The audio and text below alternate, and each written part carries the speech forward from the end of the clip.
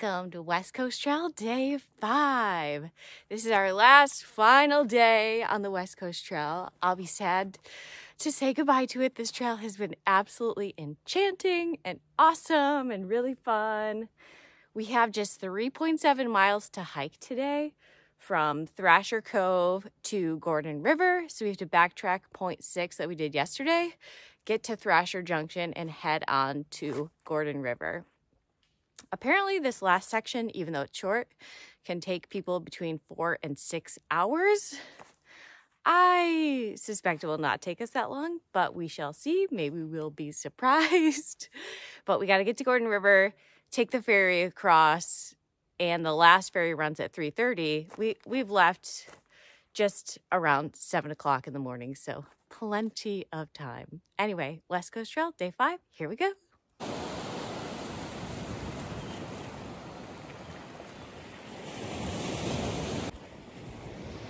Back to the trail, straight uphill for point six.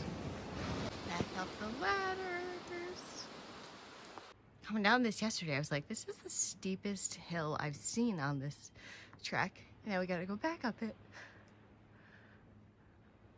And back up another ladder.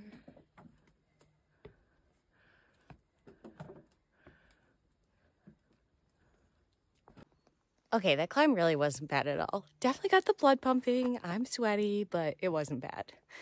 I would call this trail, pardon me, I would call this trail moderate in difficulty because there is some harder stuff where you're walking in deep sand or you're climbing up ladders, climbing over stuff. But I think what's missing to make this a difficult trail, in my opinion, for like an experienced hiker, is elevation gain. There's just not much of it. It's under 5,000 feet in 50 miles. So, all right, 5K to Gordon River, where we'll finish the trail.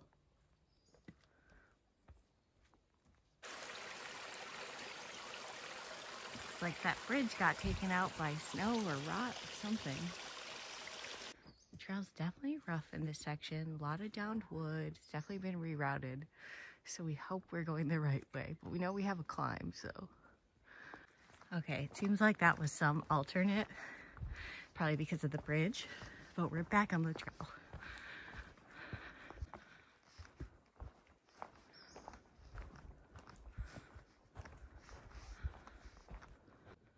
This fog is impressive, huh?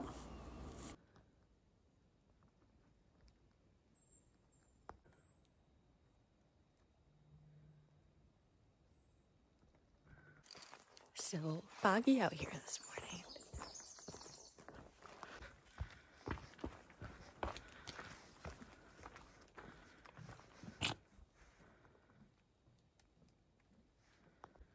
Apparently, this is the high point of the trail. Okay, that climb was like a lot of the elevation gain for the whole trail. Honestly, like, it was nothing. here we have another donkey engine from back in the day when they built the trail or the road.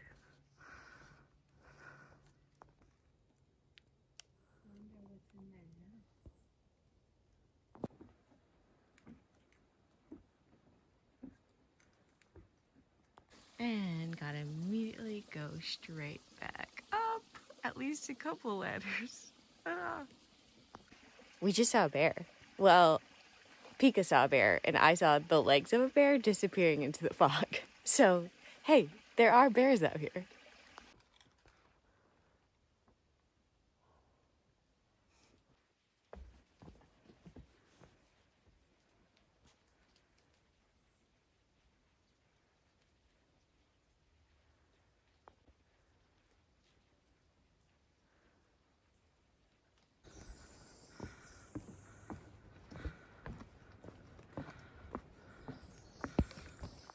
Okay, last ladder. Then we're down to the beach to catch a ferry. This is a steep guy.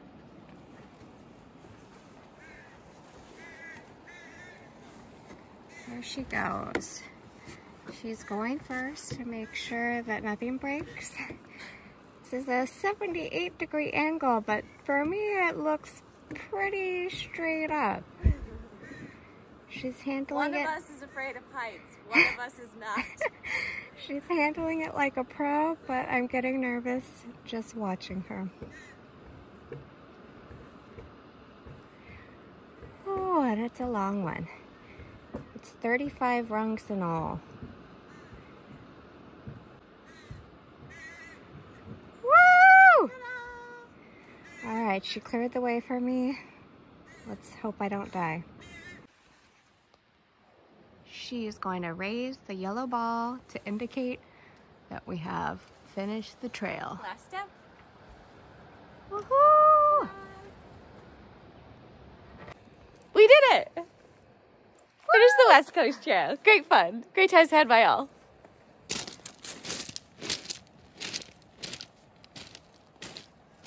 Behold, the Gordon River.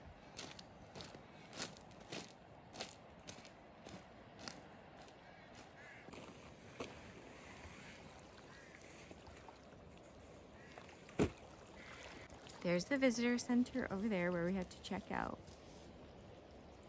All right, and that's it for the West Coast Trail. What a phenomenal adventure. I have nothing but great things to say about this trail.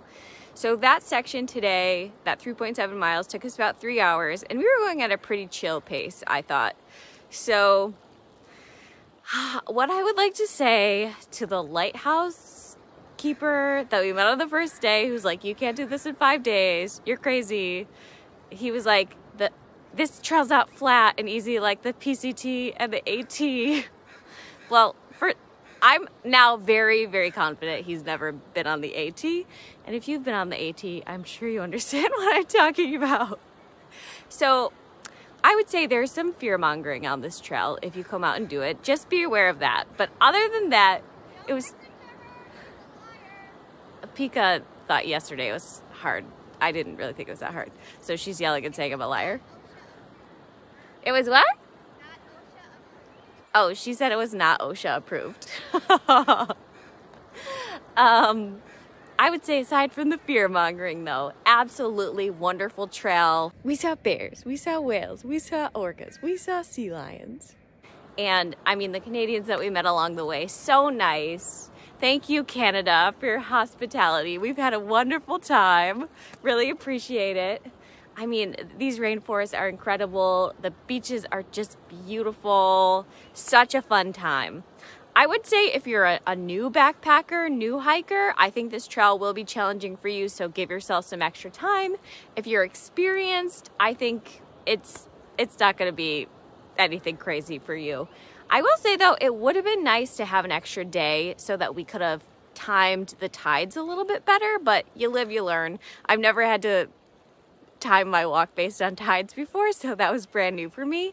But I was bummed to miss the Boulder Beach yesterday, not be able to go around Owen Point. So yeah, if you had a little bit more time, you could you could take more time to look at the tide charts and make sure that you got to go across all the beach sections that you wanted to go across. But the nice part about this trail is that when you can't pass via the beach, usually there is a forest route that you can take. And I mean, these are old growth rainforests. They're incredible. So no complaints by me.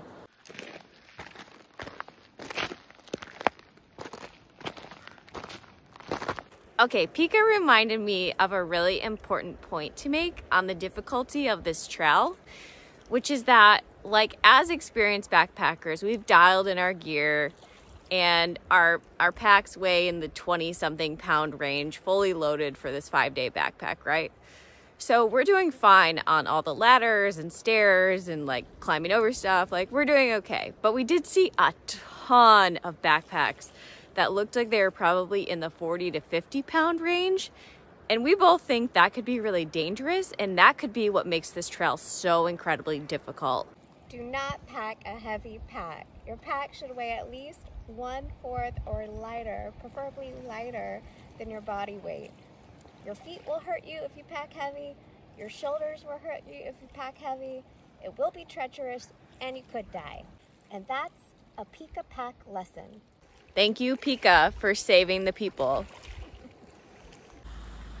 Here comes the ferry loaded with people about to start their journeys.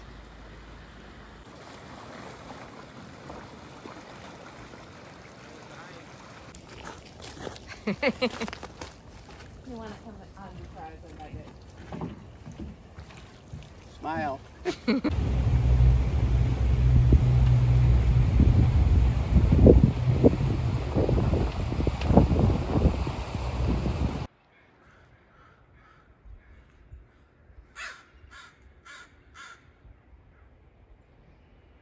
Happy trails, you guys. Definitely recommend this trail. Absolutely loved it.